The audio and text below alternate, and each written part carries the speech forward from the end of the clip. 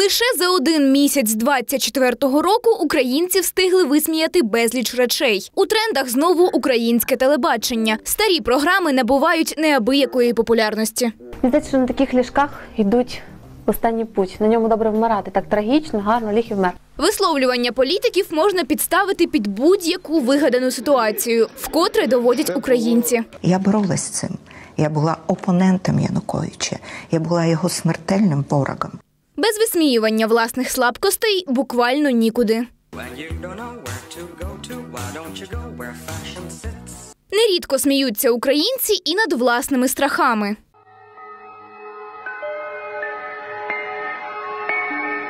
Освіта досить популярна тема для мемів. Жартувати над стосунками хлопців і дівчат хобі багатьох. Меми про роботу збирають нечувану кількість вподобайок. Звісно, наші люди не забувають кепкувати і над росіянами. Не пийте воду з того ставка. Туди тече гівно зі всього села.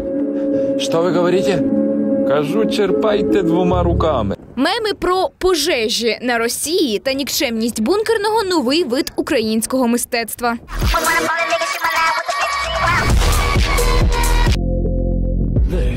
Is Elon Musk. А про що жартують дніпряни? Та чи є у них улюблений мем? Наші журналісти запитали у молоді. Мій улюблений мем в мене щось не те на суфльорі.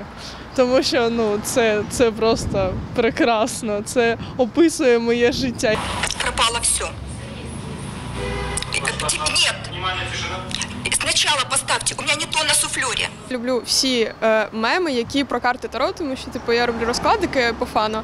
Е, і там дуже багато прикольних штук, які зрозуміють люди, тільки ті, які цим займаються. Люди від- е, як мухи і бджели. Е, Бджели шукають квіти, мухи зовсім інші. Мої улюблені меми це українське телешоу, де е, зображають реальне життя українця, як воно є. И тут я чувствую, чайок начинає действовать. Тепер в нього нова хата.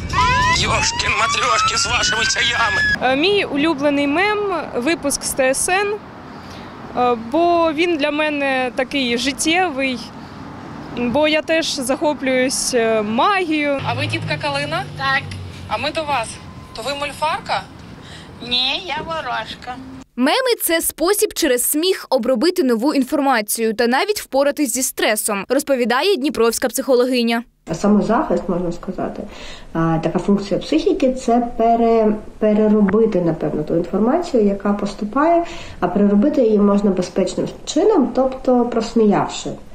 І от те- це той варіант, коли люди розповідають про дуже страшні речі, але з посмішкою. Мати під рукою шоколадку, коли дуже хочеться, штовхати двері за правильним напрямком. І щоб сьогодні, в завтрашньому дні, все було добре. Бажають вам Ксенія Семененко, Юрій Смірнов та весь телеканал відкритий.